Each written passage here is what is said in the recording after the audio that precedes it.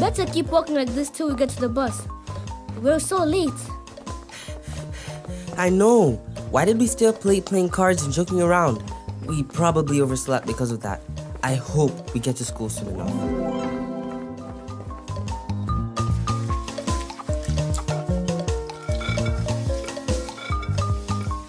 Yeah, I. Baraka!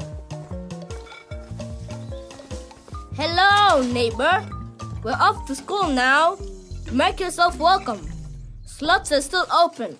I mean, it's not like our school is super big or anything, but I'm sure there's enough space for you.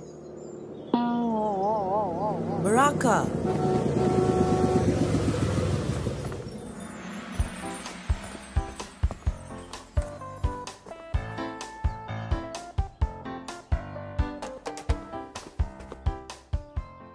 Back from school, my neighbor.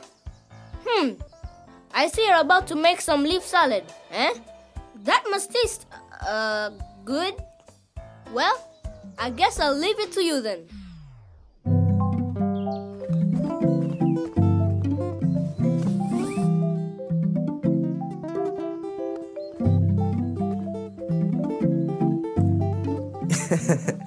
Sorry.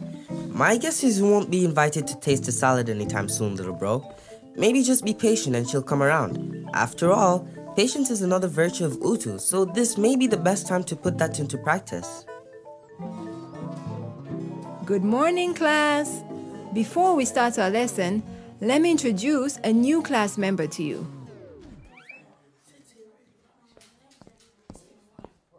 Her name is Tabasam. Say hello, everyone. Hello, Tabasamu. Oh, she's shy. She's not shy, she's deaf. Does anyone know what it means to be deaf? Yes, I see a hand there. Deafness is not having the ability to hear. When someone is deaf, that means that they're not able to hear, but they can do other amazing things just like other people with other disabilities can. For example, I'm reading about this iconic man called Stephen Hawking, who was a brilliant scientist.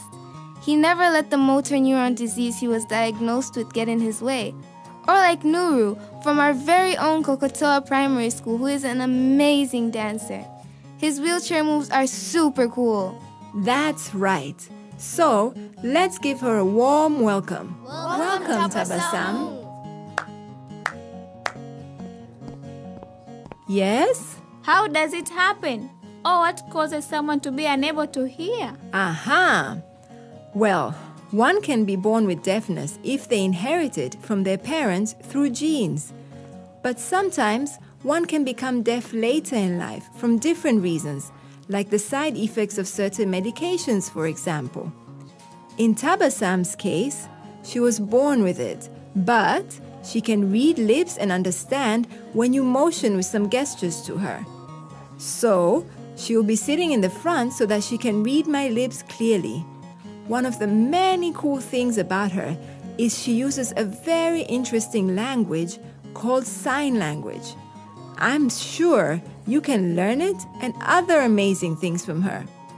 Oh, oh, I want to learn the sign language. Can she show us how to sign her name? Ha, Tabasam.